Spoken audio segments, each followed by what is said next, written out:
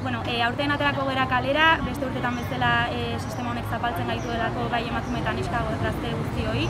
Eta e, aurtengo egoeraren egoerak ere bai e, gehiago bultzatu gaitu kalera jutea, ze e, koronavirusaren krisiaren ondorioz gehiago zapaldu gaituzte sistema honek eta bueno, gonbidatzen zaituzte gutenei parte hartzera martxoak zortziko aldarrikapenean kaleak hartzera eta e, donostiko manifestazioa batzera. Aurtengo e, lema izango da e, sistema arrazista arrakalatu feminismo, e, feministok den aldatu, vale? Así que animatu denak e, borrokara. Gora borroka feminista.